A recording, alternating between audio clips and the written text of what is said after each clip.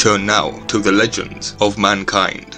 I shall try to divide them so as to represent, in their order, the several stages of this great event.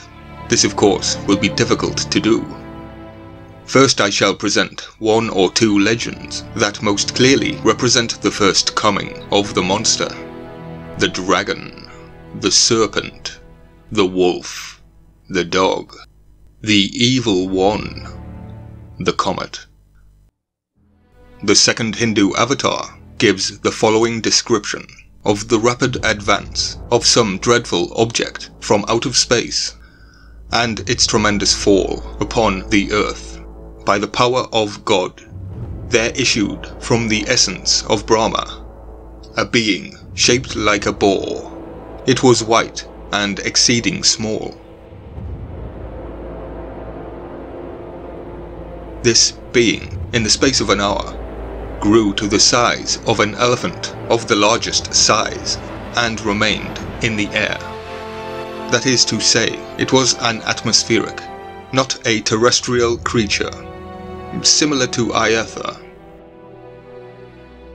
Brahma was astonished on beholding this figure, and discovered by the force of internal penetration that it could be nothing but the power of the Omnipotent, which had assumed a body and become visible.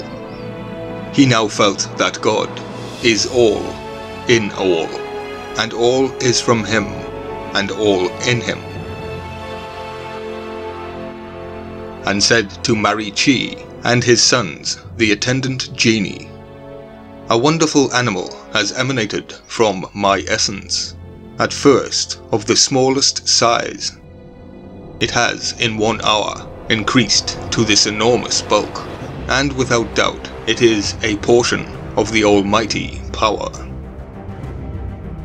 Brahma, an earthly king, was at first frightened by the terrible spectacle in the air, and then claimed that he produced it himself.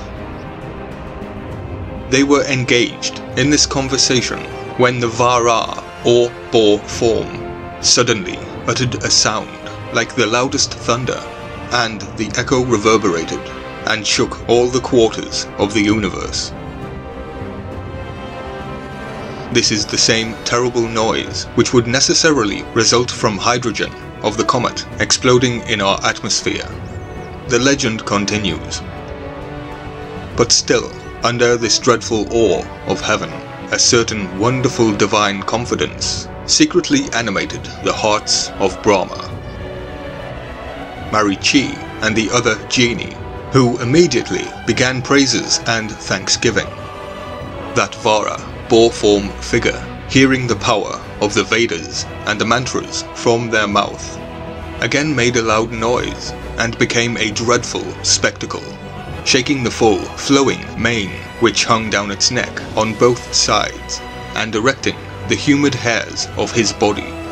He proudly displayed his two most exceedingly white tusks, then rolling about his wine-colored red eyes, and erecting his tail, he descended from the region of the air, and plunged head first into the water. The whole body of water was convulsed by the motion, and began to rise in waves. While the guardian spirit of the sea, being terrified, began to tremble for his domain and cried for mercy. Flowfully does this legend accord with the descriptions of the comet given by astronomers, the horrid hair, the mane, and the animal-like head. Compare it with Mr. Lockyer's account of Coggia's comet. The image was taken in 1874.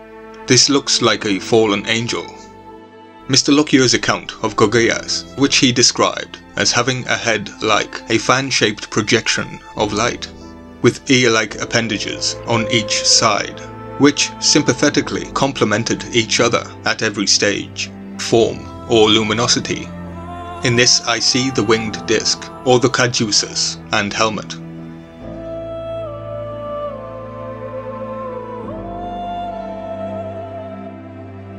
We turn to the legends of another race, the Zend-Avesta of the ancient Persians, describes a period of great innocence and happiness on earth.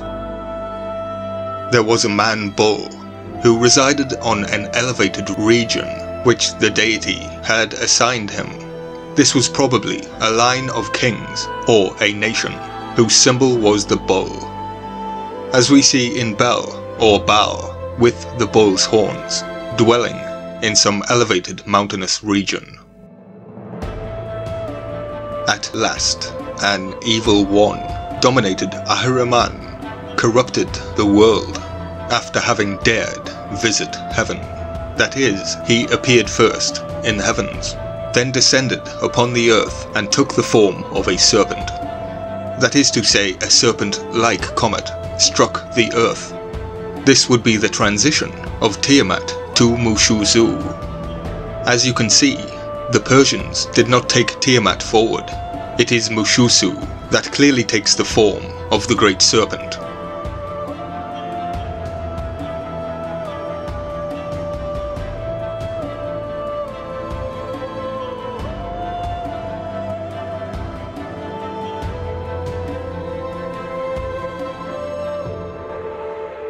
Meanwhile, Ahriman threw the whole universe into confusion, chaos. For that enemy of good mingled himself with everything, and appeared everywhere, and sought to do mischief above and below.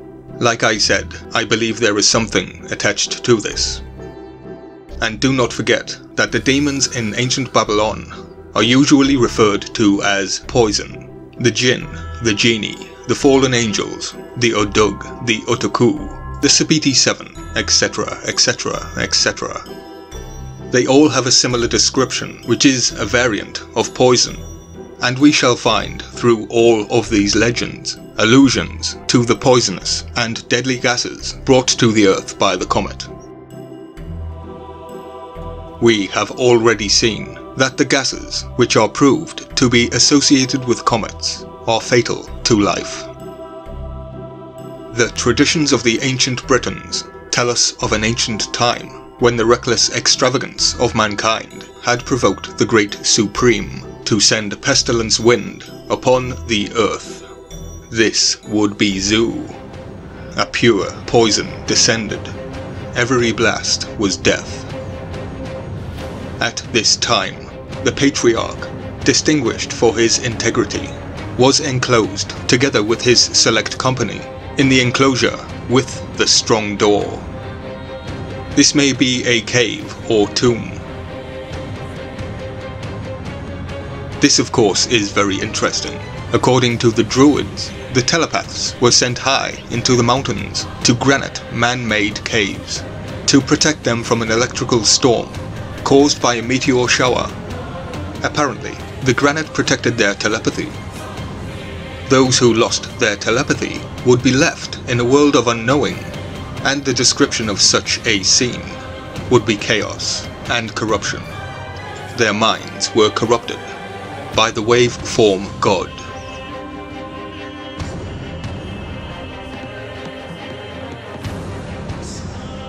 Here, behind the strong door, the just ones were safe from injury a tempest of fire arose. It split the earth asunder to the great deep. The lake Llion burst its bounds, and the waves of the sea lifted themselves high around the borders of Britain. The rain poured down from the heaven, and the waters covered the earth. Here we have the whole story told briefly, but with these regular sequence of events. 1. The poisonous gases. 2 the people seek shelter in the caves. 3. The earth takes fire. 4. The earth is cleft open, the fjords are made, and the trap rocks burst forth. 5. The rain pours down. 6. There is a season of floods. We turn now to the Greek legends. As recorded by one of their most ancient writers, Hesiod, we find the coming of the comet clearly depicted. We shall see here, as in many other legends, a reference to the fact that there was more than one monster in the sky. This is in accordance with what we know to be true of comets. They often appear in pairs, or even triplets. We have seen in the past Biela's comet divide and form two separate comets, pursuing their course side by side. When the Great Comet of 1811 appeared, another of almost equal magnitude followed it. Seneca informs us that Ephorus, a Greek writer in the 4th century BC, had recorded a singular fact of a comet's separation into two parts. This statement was deemed incredible by the Roman philosopher. Recent observations of similar phenomena leave no room to question this historian's veracity. The Chinese annals record the appearance of three comets, one large and two smaller ones. At the same time, in the year 896 AD, they travelled together for three days. The little ones disappeared first, and then the large one. And again, on June 27, 416 AD, two comets appeared in the constellation Hercules and pursued nearly the same path.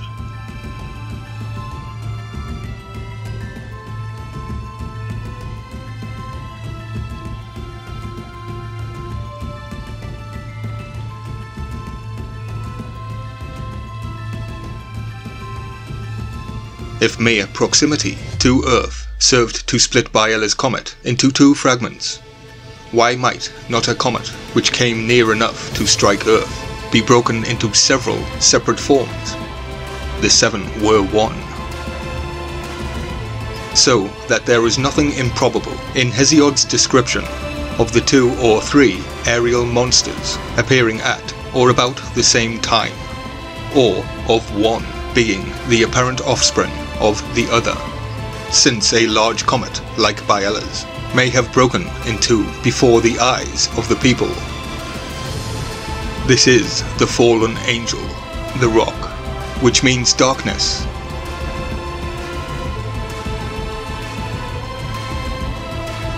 Hesiod tells us that the earth united with night to do a terrible deed by which the heavens were deeply wronged. This would be the birth of Eros, the so-called Cupid of love, born of the darkness the earth prepared a sickle of white iron with jagged teeth, and stationed him in ambush. And when heaven came, Cronos, his son, grasped at him, and with his huge sickle, long and jagged, cruelly wounded him. This would be a metaphor for the stinger of Scorpio, but as we can clearly see in the Greek myth, the sickle is now allocated a new position, as it is now created on Earth as a weapon against heaven. But this possibly describes the aftermath of the comet's destruction, where the heavens would be obstructed by the toxic gases. And night bore also hateful destiny, black fate, death, and nemesis. and Hesiod tells us that she, probably Night, brought forth another monster. Beautiful, irresistible, in no way like mortal man or the immortal gods. This is the divine storm bird. In a hollow cavern, this would be Agartha, Shambhala, the inner earth, Hades. Stubborn-hearted Echidna, a half-nymph with dark eyes and fair cheeks.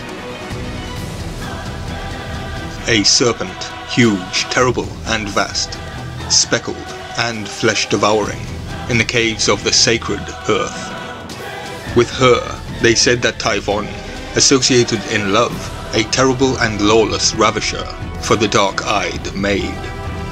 But she, Echidna, bore Chimera, breathing restless fire fierce and huge, fleet-footed as well as strong. This monster had three heads, one indeed of a grim vision of a lion, one of a goat, and another of a serpent, a fierce dragon, breathing forth the dreaded strength of burning fire. Her Pegasus slew, and brave Bellerophon.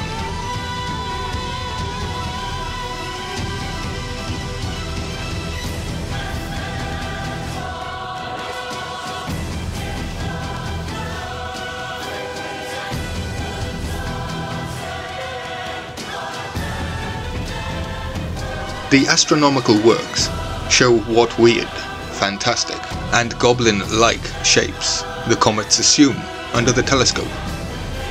If we can imagine one of these monsters close to the Earth, we can readily suppose that the excited people looking at the dreadful spectacle, as the Hindu legend called it, saw it taking the shape of serpents, dragons, birds, and wolves. And Hesiod proceeds to tell us more about this fiery, serpent-like monster.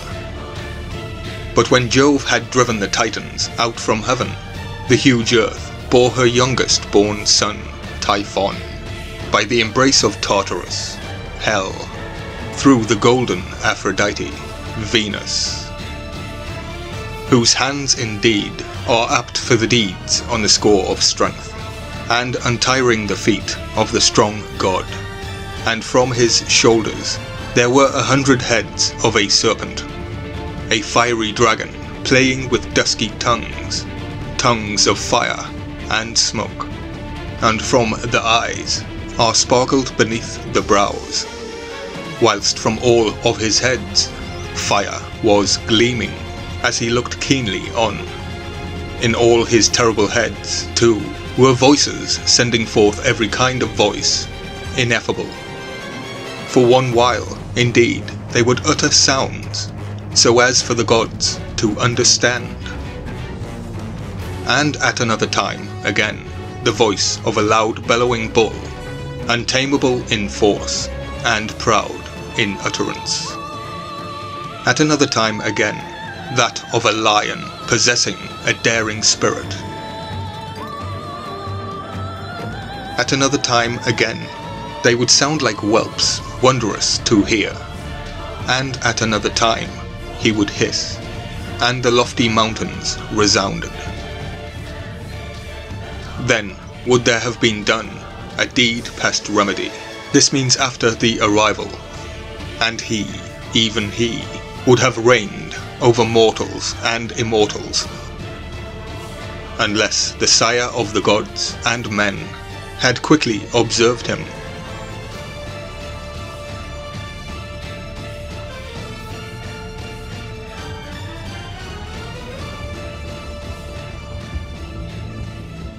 Harshly, then he thundered, and heavily and terribly the earth re-echoed around, and the broad heaven above, the sea and streams of ocean, and the abysses of the earth.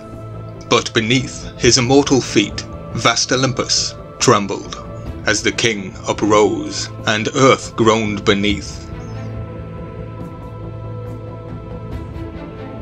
And the heat from both caught the dark-coloured sea, both of the thunder and the lightning, and the fire from the monster.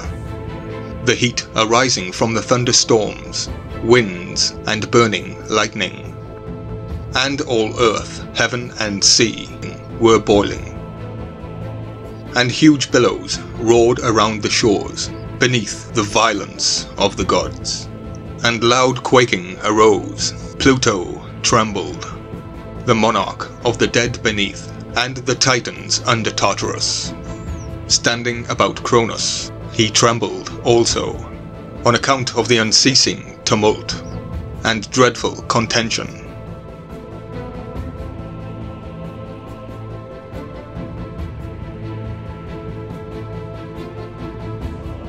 But Jove, when in truth he had raised high his wrath, and taken his arms, his thunder and lightning, and smoking bolt, leaped up and smote him from Olympus. and scorched all around the wondrous heads of the terrible monster.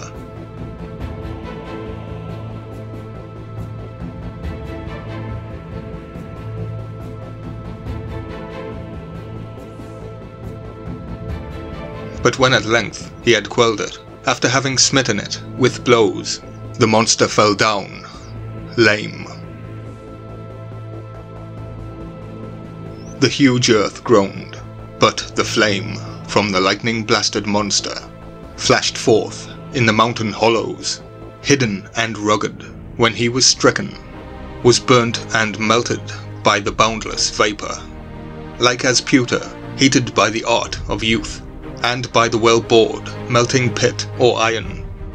Subdued in the dells of the mountain by blazing fire, melts in the sacred earth beneath the hands of Vulcan. So was the earth melted in the glare of this burning fire. Then, troubled in spirit, he hurled him into wide Tartarus. So here, we have a very faithful and accurate narrative of the coming of the comet. Born of night, a monster appears, a serpent, huge, terrible, speckled and flesh-devouring. With her is another comet, Typhon. They beget Chimera, that breathes resistless fire, fierce, huge, and swift. And Typhon is associated with both of these, and is the dreadful monster of all, born of hell and sensual sin much like Anzu. A serpent, a fiery dragon, with dusky tongues and fire gleaming, sending forth dreadful and appalling noises, while mountains and fields shake with earthquakes. Chaos has come, the earth and the sea boils. There is unceasing tumult and contention, and in the midst of the monster, wounded and broken up, falls upon the earth the earth groans under his weight, and there he blazes and burns for a time, in the mountain fastness and the desert places, melting the earth with boundless vapor and glaring fire. We will find legend after legend about this. Typhon. He runs through the mythologies of different nations. That's why there may be a precursor. Zu may be the precursor and as to his size and terrible power, they all agree. He was no earth creature. He moved in the air. He reached the skies. According to Pindar, the head of Typhon reached to the stars. His eyes darted fire, his hands extended from east to west. Terrible serpents were entwined about the middle of his body and 100 snakes took the place of fingers on his hands. Between him and the gods, there was a dreadful war. Jupiter finally killed him with a flash of lightning, and buried him under Mount Etna, and there, smoking and burning, his great thrawess and witherings, we are told, still shake the earth and threaten mankind to this day and with pale lips men say, Tomorrow, perchance today, Enceladus may arise. This is most certainly the flood storm weapon, the Anzu bird, who also aligns with Jupiter. Yet again he is killing his former self. The new empire defeats his former role with a new role. It would also be the arrival of It in the movie It, Chapter 2. The prophetic warning should be known to all humanity. The warning is, when the stinger of Scorpio is brightest, the floodstorm weapon will come. I believe this is related to the zodiac, and the cycle will be 6,000 years. By my calculations, we are 20 years from the next cataclysmic event.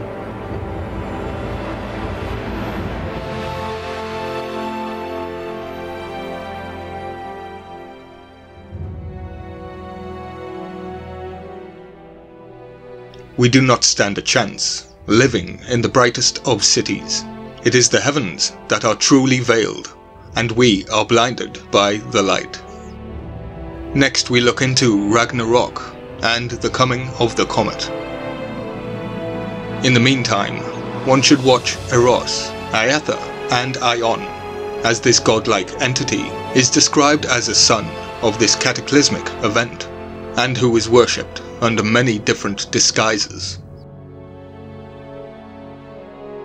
I would like to say that it is either the event itself, or something that was attached to the meteor that hit Earth, like a parasite or wave-form radiation that our human bodies would have soaked up like sponges, possibly altering our physiology in some unpredictable manner. As mentioned in the texts, there is nothing godly about this entity. And I find the similarities between the birth of Eros, Iatha, and Aion are transparent. Similar to the meteor hitting the Earth and landing in the ocean, which would have been split asunder. But he was born in the Great Abyss, which again leads me to think of the Fomorians, which translates as undersea ones. They were beast-like, goat-headed giants. And also Oannes, who also came from under the sea, who was thought to be Enki.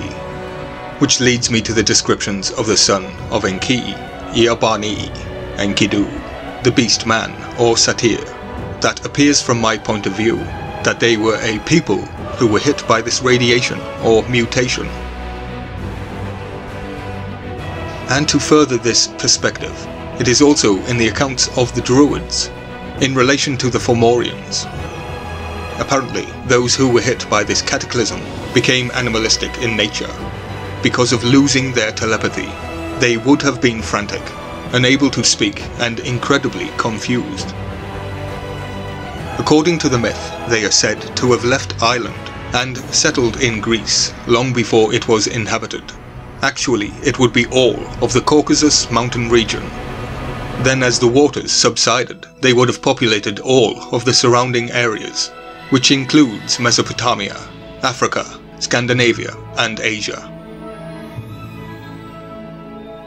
My point here is that the entity, on many occasions, Tuhut, Oannes, Votan, Odin, Quetzalcoatl, Lu, and Loki, etc., and like Oannes Enki, they all brought language and civilization.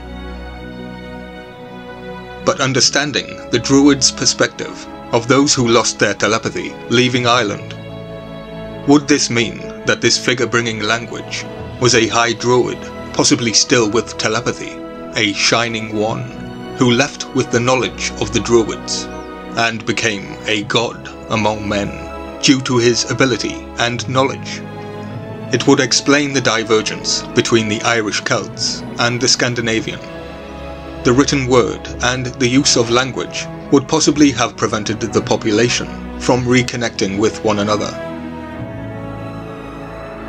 Take modern society as an example. Where is your first point of call for information? A book, the internet. And much like the internet, humanity's internet may need a connection a human connection. No, this does not have to be physical. In regards to my work, I try to get into the minds of the people, to connect via emotion to my ancient ancestors. I understand purpose, process, and the rippling effects they can have, just by plodding on and working one step at a time. I have gained an incredible overview of the situation a bird's eye view, if you can forgive the term. Which leads me to finish where I started. The ancient mystery began with a vision of the entity riding the chariot.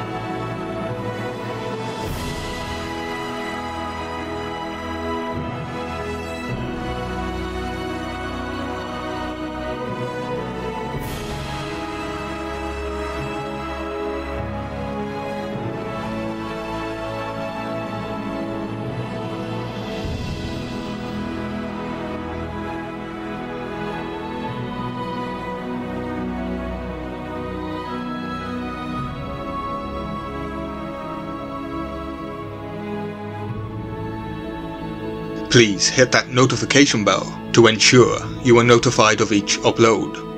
Share, like, comment and subscribe to support the channel. For more ancient mystery.